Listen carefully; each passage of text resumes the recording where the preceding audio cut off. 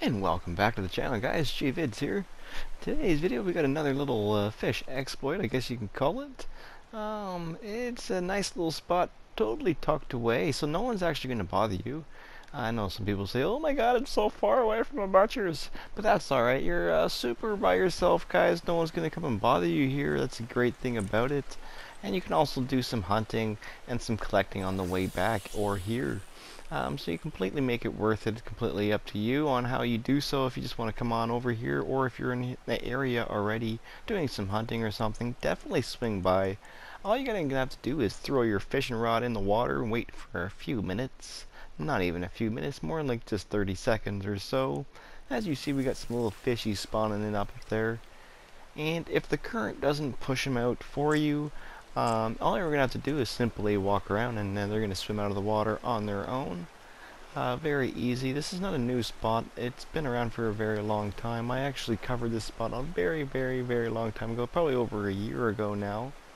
Um, but it is still working and it's uh, working very well. We got a ton of little fish here and plus we get a little bit of bonus if uh, you come here during the day especially. You can sometimes catch some sockeye salmon as well.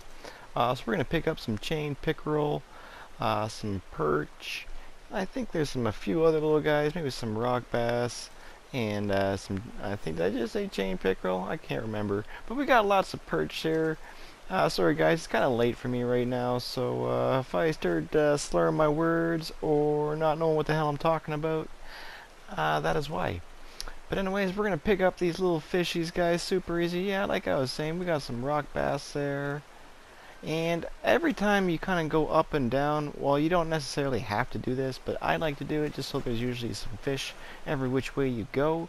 Um, just kind of come up to this rock here and cast your rod back into the water. It just kind of helps the fish spawn in. Sometimes you got to remove yourself to let yourself actually cast.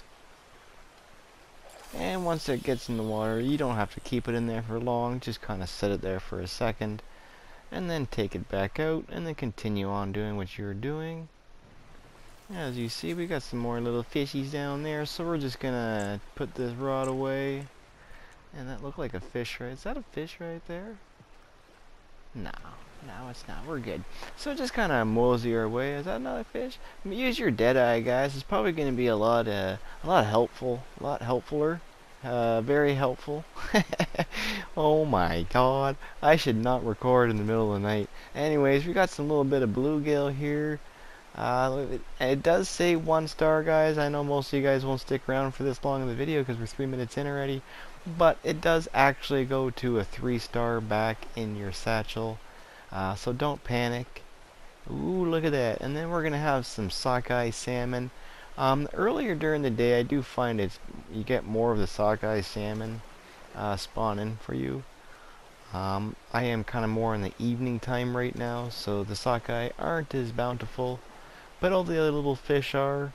And if you do miss them, guys, it's no big deal. They usually just get stuck on this rock down here. I haven't really missed much, but I just come down here, and like I said, every pass through, I like to cast back into the water again and just get some more fish to spawn in for us. Super easy guys, uh, like I said, it's not something you want to sit here and do all day long.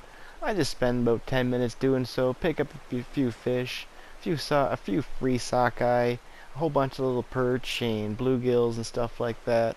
Uh, so it's just a quick little stop in guys, nothing to sit here all day for. But uh, if you guys did enjoy this video or this spot at all, make sure you share, like, and subscribe. Oh, sure, you don't want to kick uh, the fish because that probably won't go back to three star because I gave it a boot. But uh, anyways, guys, you totally get the point. Just come on over here, throw the rod in, do a little walk around. Uh, very similar to what we do at Stillwater or at um, Ringneck Creek there. Uh, so if you guys, if you enjoyed the video, make sure you share, like, and subscribe, and I'll catch you on the next one. Peace.